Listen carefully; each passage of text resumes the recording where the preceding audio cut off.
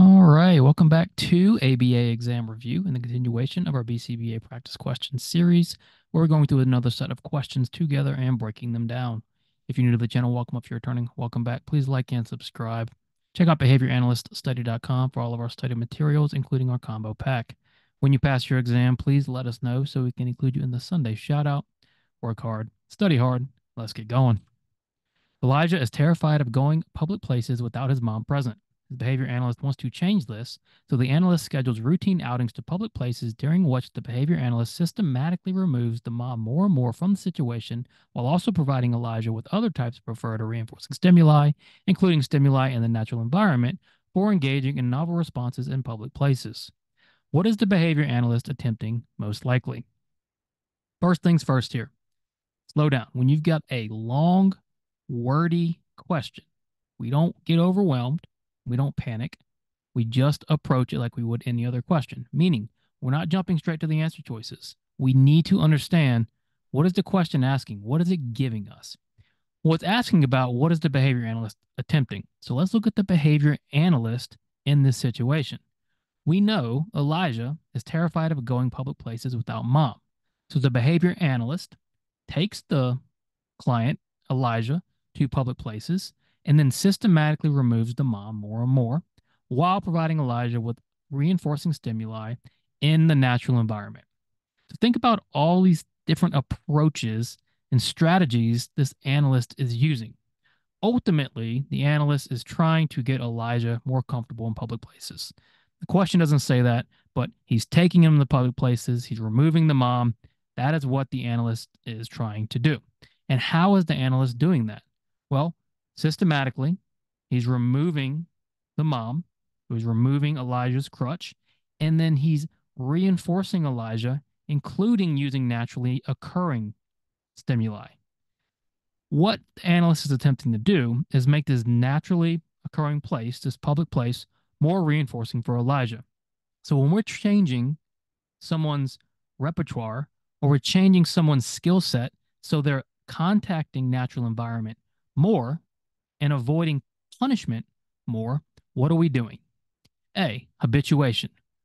Be careful. Habituation and habilitation are two different things. Habituation has more to do with respondent behavior, where the repeated presence of a stimulus decreases the reflex or the response to it. And we're not doing or using habituation here. What about B, negative reinforcement? Well, we know the analyst is using reinforcing stimuli including stimuli in the natural environment. But we're not quite sure if it's negative or positive. So, B, we're unclear on. We're not quite sure what type of reinforcement. So, what about C, habilitation? Habilitation occurs when a person's repertoire or skill set changes so that they start contacting reinforcement more and they start contacting punishment less. Exactly what the analyst is attempting to do. They're attempting to change Elijah's repertoire in public places so that Elijah is contacting reinforcement more in this natural environment for engaging in novel responses. Now, what about D, positive punishment? It doesn't mention punishment. It doesn't seem to be there is any punishment present. It seems to be a reinforcement based approach, which is great. Specifically, the analyst is attempting to get Elijah to change his or her behavior so that they're contacting that natural reinforcement more and more. What is the analyst attempting? C, habilitation. Not the easiest of questions, a long question, a very analytic question. Hopefully you got it right. If not, it's okay. Review it, review it thoroughly, and then continue. You take an art class during your summer break. The class will teach you how to paint portraits. During the class, the art teacher slowly changes the way you grip the brush, move the brush, and apply the paint to your canvas. What is your art teacher doing? So we're looking at the art teacher relative to what it seems like your behavior. What do we know? You we know you're taking an art class and you're learning to paint portraits. During the class, the art teacher is changing the way you hold the brush, grip the brush, move the brush, and apply the paint. So many, many different aspects of your painting. And so when we are slowly changing or sometimes quickly changing someone's response through approximations, what do we call that? Well, shaping. Art teacher is shaping up your behavior. You're going to grip the brush differently. You're going to grip it better. You're going to move the brush differently. You're going to move it better. And you're going to apply the paint differently. You're going to apply the paint better. So we are shaping. We know that.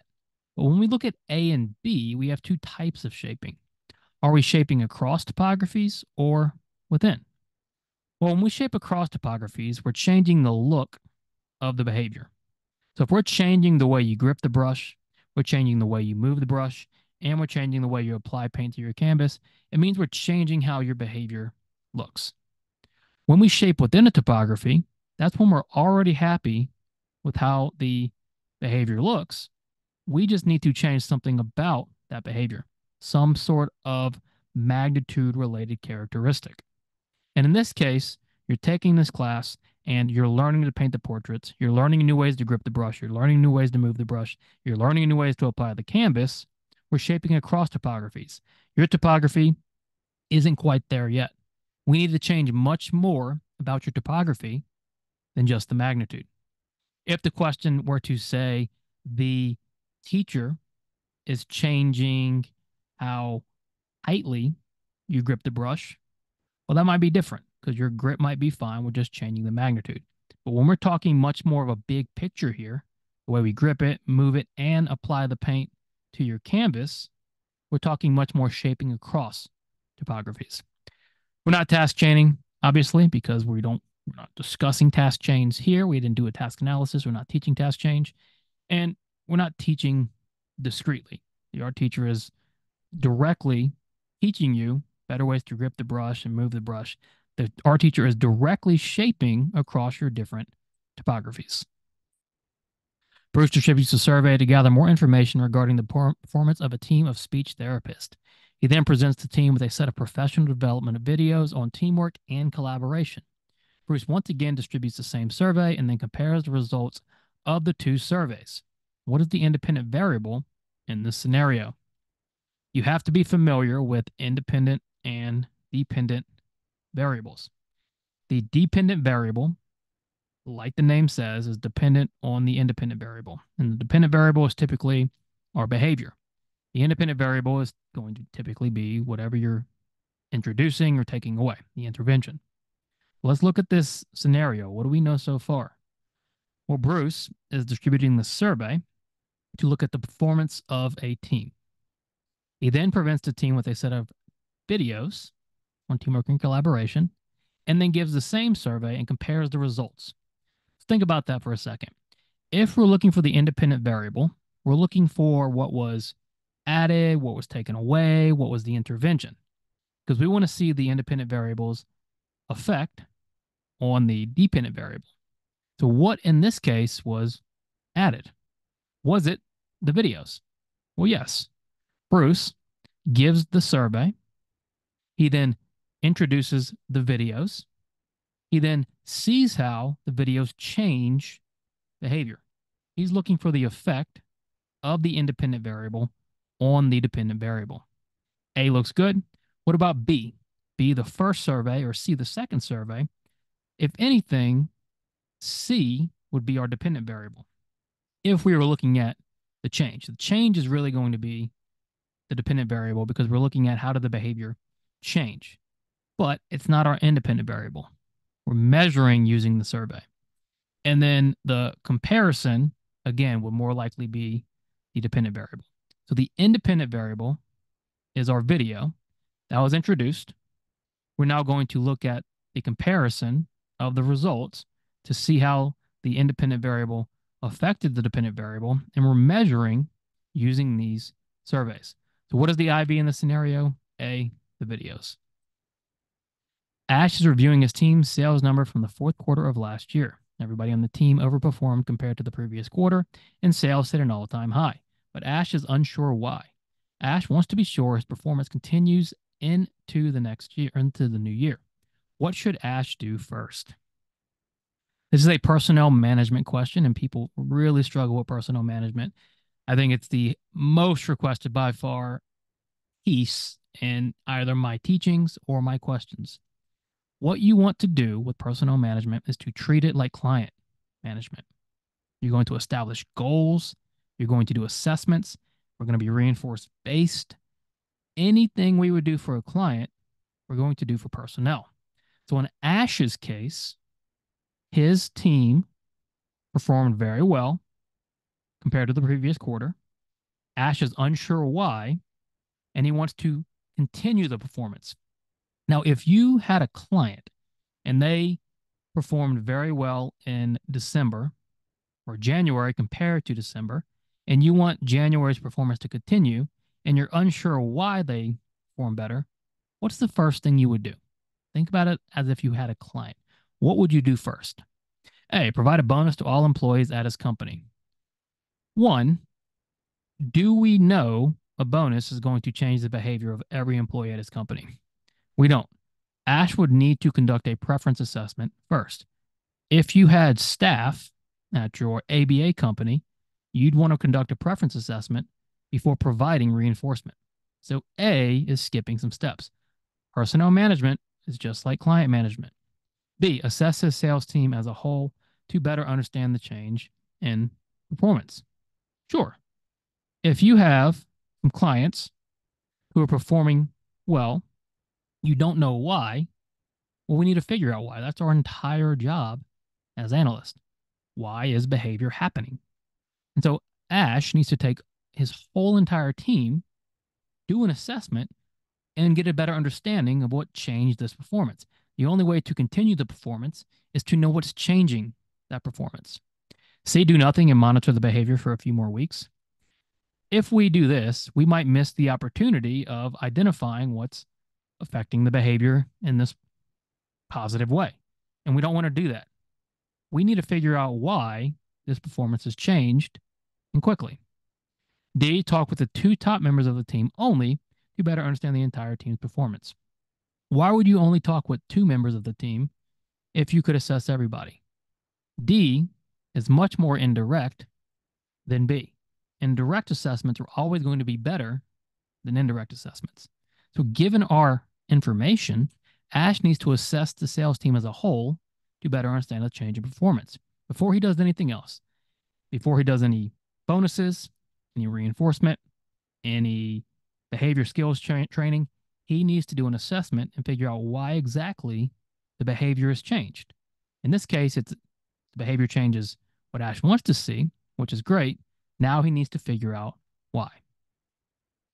Although there are disadvantages to discontinuous measurement, there's a time and a place where discontinuous measurement can be useful in service. When might you want to use discontinuous measurement? When might you want to use discontinuous measurement? This comes up a few times where, well, continuous measurement is more accurate. It's it's typically more reliable. Why would we ever use discontinuous measurement? Well, like anything else, it has a time and a place. And all these different interventions you're learning, these terminologies, these strategies, they all have a time and a place. Everything we do is individualized. And so when something isn't appropriate for one scenario, that doesn't mean it's never appropriate. Discontinuous measurement's a good example. Why would you ever use discontinuous measurement? A, when you have limited time and resources available. Sure, if you can only take data for 20 minutes, that's all the time and resources you have available, well, that data is better than no data. So discontinuous measurement might be applicable there. What about B? When you're measuring the behavior of several learners. Think about planned activity checks or PLACHECK. That is exactly what B is talking about a group discontinuous measurement system. And then C, when the behavior of interest happens very frequently. So if you know that behavior happens all day, every day, is it really necessary to continuously measure it? Maybe not. Maybe a sample is going to tell you all you need to know about the big picture. So A, B, and C are all very relevant times you might want to use discontinuous measurement. Don't write off interventions just because they don't work in some scenarios. Everything you do needs to be individualized. How are you going to achieve your goal? How are you going to help your client? Analyze the following results from a functional analysis. How could you describe the results? All right, some quick analysis. If you've read Cooper, you might be familiar with this graph. Fantastic. The more familiar you are, the better off you will be. And so when we have our functional analyses graph, we can see we have our different conditions. We have contingent escape and free play, alone, contingent attention, and we're looking at the number of problem behaviors per minute. And if we look at our data paths, they're all kind of crossing over. Nothing really stands out. So when we were using, or we when we were doing a contingent escape condition, it looks very similar to the attention condition and the alone condition. So when you see a graph like this for functional analyses where everything is kind of crossing over, there's no real clear answer, there are two things you can consider. One, results are inconclusive. And that could be the case. We can't really make a decision here. It all kind of looks the same. Two, we could possibly say it's automatic maintained. We can't say it's attention maintained because attention looks no different than free play, which looks no different than escape. So you can either say it's possibly automatic maintained because it happens all the time, even in our control condition, or we can say it's inconclusive. How would you describe the results giving our answer choices? D, possible automatic maintained. Thanks for watching. Check out behavioranalyststudy.com for all of our study material. Please subscribe if you haven't already. Work hard, study hard. We'll see you soon.